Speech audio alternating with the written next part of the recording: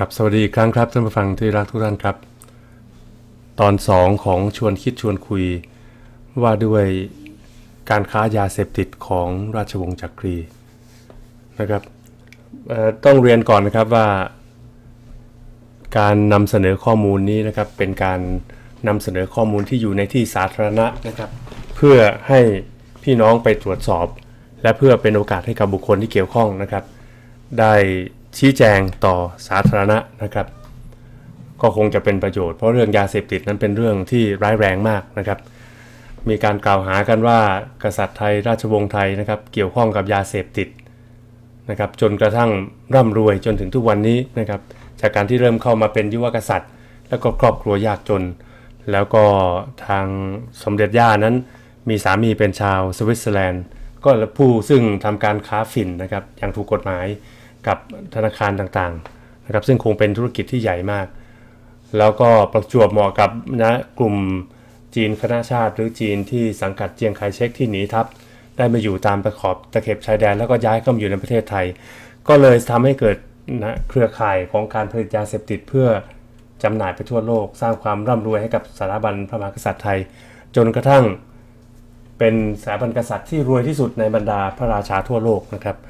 อันนี้ก็เป็นเนื้อความจากตอนที่ 1 ตอนที่2นี่ได้พูดถึงเส้นทางการลำเลียงนะครับเขาเรียกว่ามารีวัวปานะครับมารีวัวป่า4 เส้นทางยาเสพติดนะครับเส้นทางที่เขาเรียกกันว่าเส้นทางมารีวัวปานั้น คนในพื้นที่จะเรียกกันว่าขบวนการมารีปานะครับ เส้นทางสีเส้นนั้นเส้นแรกนะครับ ก็คือมารีวัวปา วัดพระธาตุผาเงาดอยตุงนะครับ ฝิ่นดิบแล้วก็มอร์ฟีนเฮโรอีนจากโกกั้ง เข้าสู่วัดพระธาตุผาเงาดอยตุง ในเส้นทางนี้เป็นประโยชน์ของสมเด็จพระบรมราชชนนีศรีสังวาลย์ ปัจจุบันผลประโยชน์ได้ถูกถ่ายโอนไปให้ถั่วปากอาจุลาพรเส้นทางนี้อยู่ภายใต้การคุ้มครองของกองกำลังตำรวจตระเวนชายแดน ส่วนบริเวณที่พักยาเสพติดก่อนลำเลียงเข้าสู่จุดดอยตุง ก็คือวัดพระธาตุผาเงา ที่อำเภอแม่สายจังหวัดเชียงราย พระที่นี่ส่วนหนึ่งจะถูกส่งไปที่วัดที่วังดูแลก็คือวัดบวรนิเวศวิหาร และพระที่ส่งไปก็จะเป็นทหารที่มาบวช โดยจะทำหน้าที่ดูแลยาเสพติดที่ส่งมาจากพวกโกกั้ง และวัดนี้เป็นวัดที่วังให้ความสำคัญเป็นพิเศษ โดยทุกครั้งที่ครอบครัวพิมพลจะมาที่ดอยที่ดอยตุงนะทุกคนก็จะมาแวะที่วัดพระธาตุผาเงานี้ด้วยเสมอ และที่สำคัญเมียน้อยของเหวยเสี่ยกัง ก็ยังคงสร้างบ้านยังได้สร้างบ้านอยู่ติดกับวัดพระธาตุผาเงาแห่งนี้ด้วยนะครับ นี่คือรูปของวัดพระธาตุผาเงานะครับ สวยทีเดียวนะครับอยู่ติดแม่น้ำนะครับ ส่วนตัวของนายหวยเซียกังนั้นนะครับพ่อค้ายาเสพติดมีชื่อกระชอนโลก ต่อมาได้ถูกทางการไทยจับตัวที่จังหวัดเชียงใหม่ ขณะที่หลบมาอยู่ที่บ้านเมียน้อยเมื่อวันที่ 23 พฤศจิกายน 2531 เขาถูกสายข่าวดัดหลังแจ้งตำรวจกก7กองปราบปรามและเจ้าหน้าที่ปปส จับตัวได้ขณะที่แฝงตัวเข้ามาในหมู่บ้าน โชตนานิเวศ ตรงข้ามสนามกอล์ฟล้านนาเชียงใหม่นะครับ ตามหมายจับที่ 1000ทับ263 คดีครอบครองเฮโรอีนระหว่างคดี ระหว่างคดีนะครับทนายได้ยื่นขอให้ส่งผู้ร้ายข้ามแดนไปขึ้นศาลสหรัฐ ในชั้นอุทธรณ์แต่ก่อนที่ทางการไทยจะส่งตัวไปเวยเซียกังก็ได้รับการช่วยเหลือจากนายพลทหารผู้หนึ่ง จนเวยเซียกังหายตัวไปจากเรือนจำ ต่อมาอีกหลายปีร้อยตำรวจเอกเฉลิมอยู่บำรุง รองนายรัฐมนตรีรับผิดชอบงานด้านยาเสพติด กล่าวไว้เมื่อเดือนกันยายน 2554 ว่าทราบจากหลานของเวยเซียกัง ว่าการหลุดพ้นจากโซ่ตรวนครั้งนี้เวยเซียกัง ซื้ออิสรภาพไปด้วยเงินจำนวน 30 ล้านบาท แต่ไม่รู้ไม่ระบุว่าจ่ายให้กับใคร นี่คือภาพของนายเวยเซียกังนะครับ ส่วนนายสุรชัยเงินทองฟูหรือบังรอน ชื่อนี้คงคุ้นนะครับ ได้หลบหนีการจับกลุมไปอยู่กับเวยเซียกัง และนายภาพ 70 ไร่ พ่อค้ายาเสพติดรายใหญ่ของไทย ก็เหมือนกับเวยเซียกัง คือทั้งตำรวจตามจับตัวได้แล้ว แต่ก็หายตัวไปอย่างไร้ร่องรอยเช่นกันนะครับสุรชัยเงินทองฟูหรือบังรอนนะครับคนทางซ้ายมือ แล้วก็นายภาพ 70 ไร่ชื่อแปลกดีนะครับ แต่ทั้งสองคนนั้น เข้าคุกแล้วก็ถูกปล่อยตัวไปหายตัวไปนะครับ และเรื่องนี้ไม่มีนักข่าวของไทยคนไหนกล้าที่ขุดคุยข่าว ทั้งทั้งที่คนพวกนี้เป็นนักค้ายาระดับระดับโลก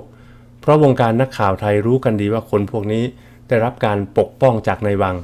และมีข่าวว่าทั้งบางรอนและภาพ 70 ไร่ ก็ได้หลบหนีไปอยู่ในคฤหาสน์หรูของเวยเซียกัง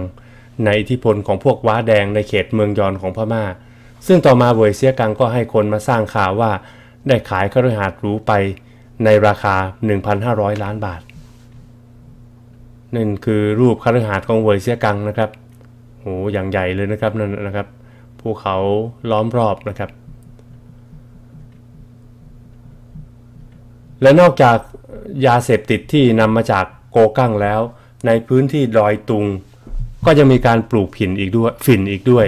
ผู้ที่ดูแลโครงการดอยตุง และ เลขาสมเด็จย่าก็คือหม่อมราชวงศ์ดิษดิษนัดดาดิสกุล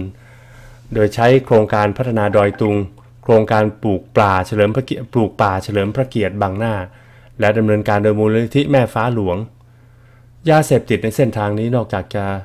ทางวังได้ร่วมมือกับพ่อค้ายาเสพติดแล้ว ทางวังยังได้ส่งมอร์ฟีนไปยังบริษัทในประเทศสวิตเซอร์แลนด์ ที่เคยเป็นของพ่อเลี้ยงภูมิพล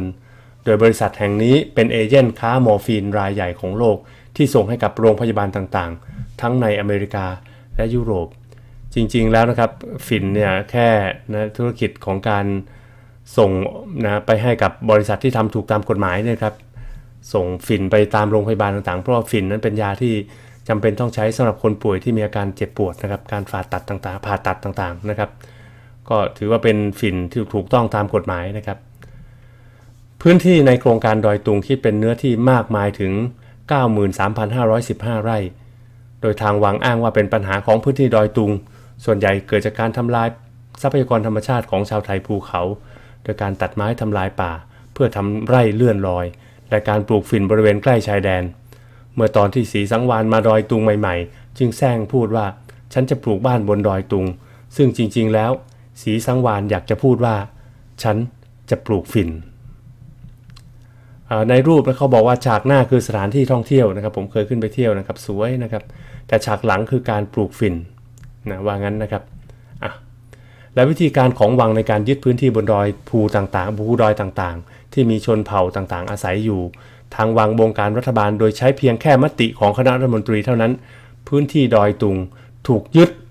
โดยมติของคณะรัฐมนตรีมากที่สุดในสมัยรัฐบาลพลเอกเปรมติลสูรานนท์ พื้นที่โครงการดอยตุงอยู่ทางตอนเหนือสุดไปทางด้านตะวันตกของจังหวัดเชียงราย ในเขตอำเภอแม่จันและอำเภอแม่สาย ภูมิประเทศเป็นแนวเขาสลับซับซ้อน สภาพป่าเป็นป่าเสื่อมโทรม บริเวณชายแดนที่ติดกับประเทศพม่าโดยทั่วไป เป็นพื้นที่ปลูกฝิ่น นั่นคือเส้นทางที่1นนะครับ เส้นทางที่ 2 มารีวัวป่าดอยอ่างขางนะครับเส้นทางตามรูปในแผนที่นี้นะครับ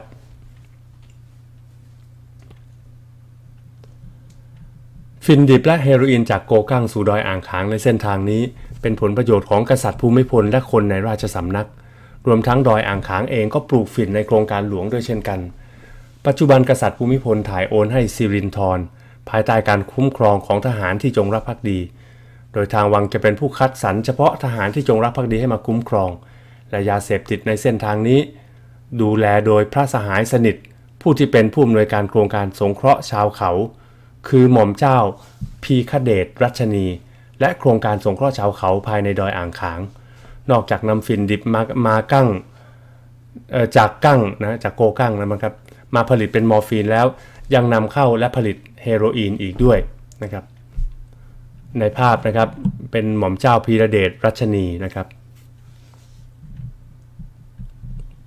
หุ้นส่วนใหญ่นะครับ หลักฐานอีกชิ้นหนึ่งระบุได้ว่ากษัตริย์ภูมิพลนั้นสนับสนุนการค้ายาเสพติด ก็คือปูนซีเมนต์ที่ใช้ในการก่อสร้างเมืองยอนของพวกโกกั้งในเขตประเทศพม่า ใกล้ชายแดนไทยตรงข้ามเขตอำเภอแม่ฟ้าหลวงจังหวัดเชียงราย เป็นของบริษัทปูนซีเมนต์ไทยที่มีกษัตริย์ภูมิพลเป็นเจ้าของ และที่ซ้ำร้ายไปกว่านั้น การส่งออกปูนซีเมนต์ก็ได้รับการยกเว้นภาษี เพราะใช้โควต้าการส่งออกปูนซีเมนต์ของลาวและเขมร และมีข่าวทางลึกว่าลุงสมชาย คือหุ้นส่วนใหญ่ของเมืองยอนแหล่งผลิตเฮโรอีนตราสิงคู่เหยียบโลกอีกด้วยนะครับนี่ก็ว้าแดงทหารว้าแดงทางซ้ายมือนะครับมีการสวนสนาม ก็ไม่ได้เป็นกลุ่มอะไรอะไรใหญ่มาก แต่ว่าคุมบริเวณนั้นนะครับนะคุมเมืองยอนอยู่นะครับหัวข้อต่อไปนะครับบอกว่าการค้ายาเสพติดคือพระราชกรณียกิจของครอบครัวอ้าวนะครับ หูแต่ฟินรูปฟินสวยมากนะครับนะนะครับแสดงว่าอุดมสมบูรณ์จริงๆนะครับยาเสพติดในเส้นทางนี้ ถูกส่งออกโดยครอบครัวของกษัตริย์ภูมิพล โดยส่วนใหญ่จะถูกส่งไปยังอเมริกาและยุโรป และการเดินทางไปต่างประเทศของคนในครอบครัวนี้ ก็จะนำยาไปส่งด้วย โดยทำควบคู่ไปกับพระราชกรณียกิจที่เอามาใช้เป็นข้ออ้าง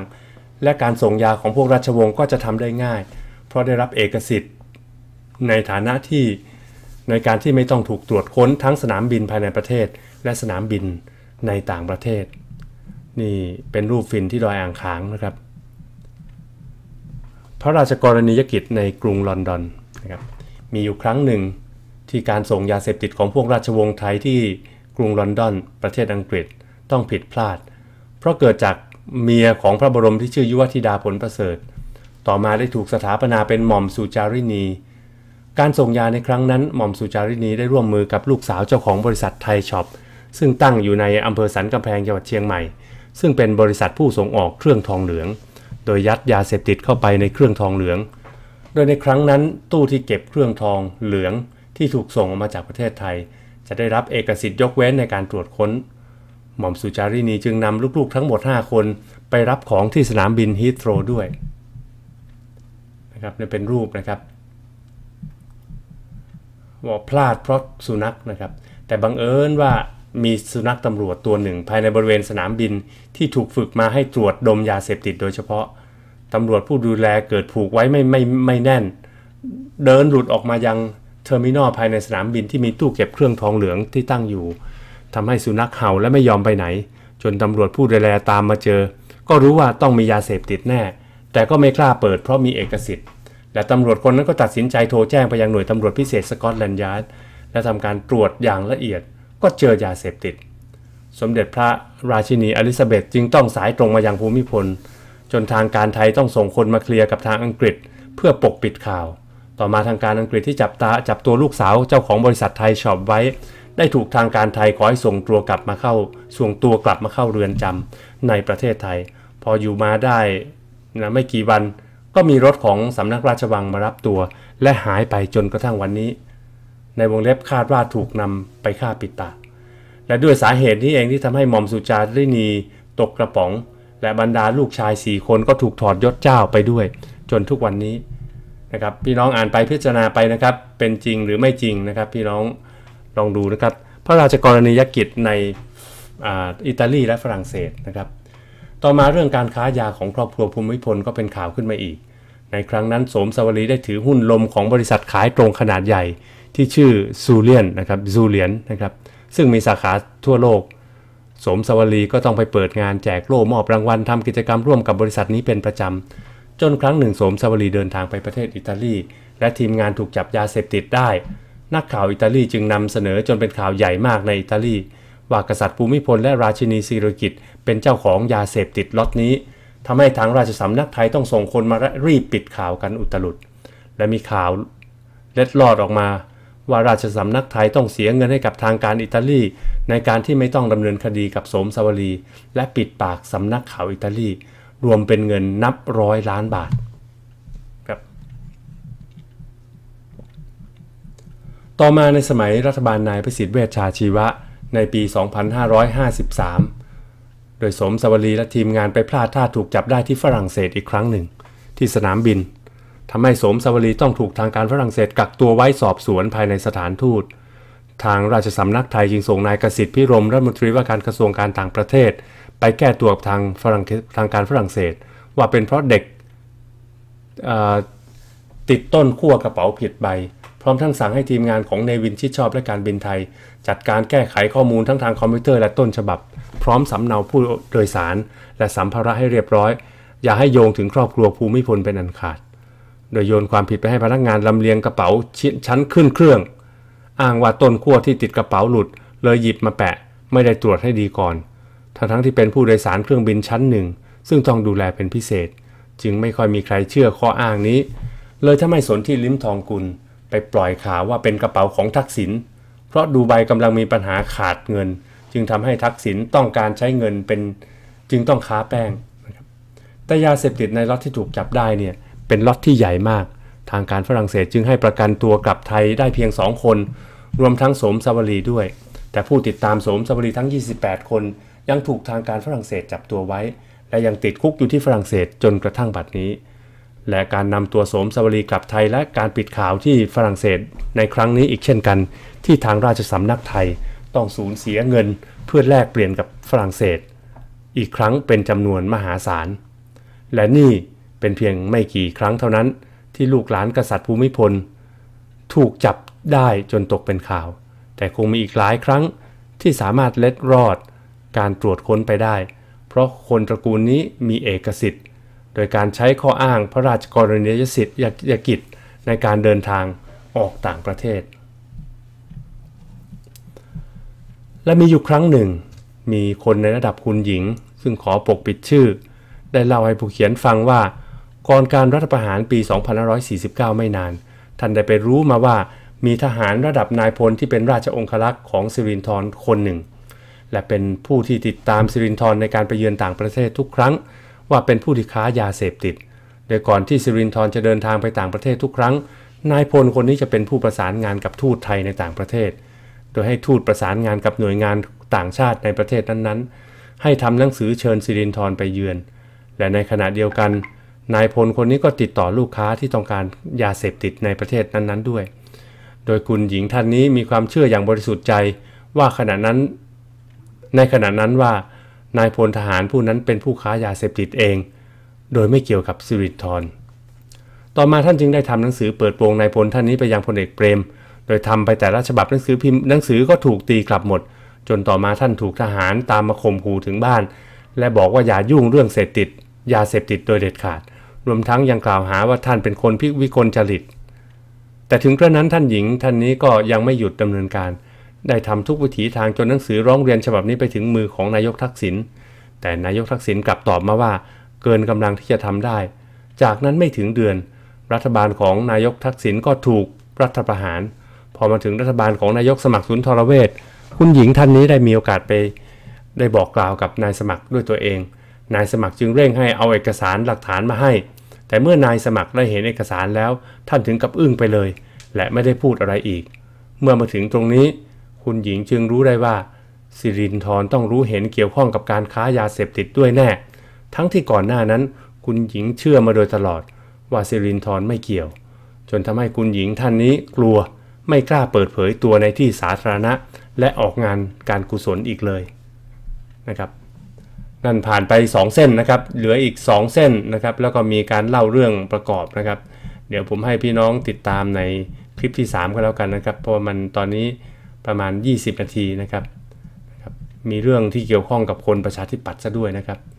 แล้วก็คนในแวดวงตำรวจทหารที่เกี่ยวข้องนะครับ ท่านทั้งหลายเนี่ยถือว่านะครับอันนี้มันอยู่ในที่สาธารณะแล้วนะครับ เพราะฉะนั้นก็คงจะต้องนะครับพิสูจน์ตัวเองนะครับนี่สี่เส้นทางมีคนเกี่ยวข้องมากมายในแต่ละเส้นทางนะครับถือว่าเป็นงานวิจัยเรื่องการเขียนเรื่องติดปฏิปต่อเรื่องราวที่ น่าสนใจนะครับทีเดียวนะครับ ก็เป็นข้อมูลเบื้องพื้นฐานนะครับ ให้พี่น้องได้อาอ่านกันนะครับ นี่เพิ่งจะเขียนเมื่อเดือนกรกฎาคมที่ผ่านมาปลายเดือนนะครับ ผ่านมานี่ประมาณเดือนหนึ่งนะครับ เดือนหนึ่งพอดีเลยนะครับ ก็เป็นว่าเดี๋ยวพบกันใหม่ตอน 3 นะครับเห็นว่านะดีมีประโยชน์นะครับ จะทำให้คนที่เกี่ยวข้องได้นะครับ ออกมา ชี้แจงกับสังคม หรือว่าจะทำให้พี่น้องประชาชนเอาไปคิดไปคุยกันต่อนะครับ ค้นหาความจริงเพิ่มเติม พิสูจน์ความจริงด้วยตัวพี่น้องเอง ก็เป็นเรื่องที่ถือว่าเป็นประโยชน์นะครับ โอเคนะครับ แล้วพบกันใหม่ในตอนที่ 3 สวัสดีครับ